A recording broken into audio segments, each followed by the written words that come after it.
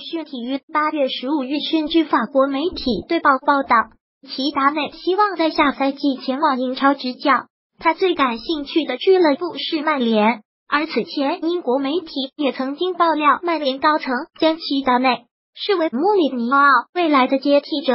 上赛季，齐达内带领皇马获得欧冠三连冠，然而欧冠决赛后不久，齐达内就因为在引援、球员去留等问题上和皇马高层有矛盾，最终他选择离开。这一消息让整个世界足坛都为之震动。今年夏天，齐达内和一些豪门球队传出绯闻，不过他并没有急于复出。队报透露，齐达内原本想要执教法国队，法国队现任主帅齐达内前国家队队友德尚在世界杯前饱受质疑。然而，在俄罗斯世界杯上，德尚带领法国队一路杀进决赛，并且最终拿到了冠军奖杯。齐达内短期内不可能顶替得上的位置，于是。齐达内改变计划，将会继续选择执教俱乐部队。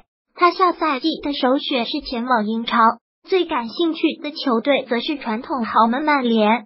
尽管在福格森离任后，曼联战绩不佳，在曼联和皇马一样，都是在全球有着强大影响力的俱乐部，这对齐达内很有吸引力。目前，曼联主帅是穆里尼奥，上赛季他带领球队获得英超亚军。也在之前的一个赛季获得了欧联杯冠军。然而，由于曼联技战术打法比较保守，穆里尼奥也遭遇了很多批评。英国媒体曾经透露，如果穆里尼奥因为战绩不佳提前下课，曼联的首选将是齐达内。